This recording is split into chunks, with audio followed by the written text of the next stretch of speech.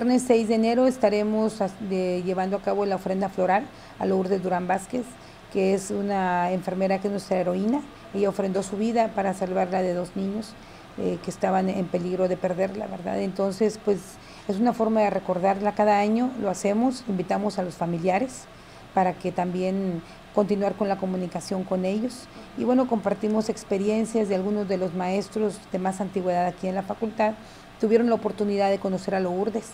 Entonces, bueno, pues compartimos las experiencias, la, convivencia que tuvieron con ella, de que nos platiquen cómo era Lourdes, ¿verdad?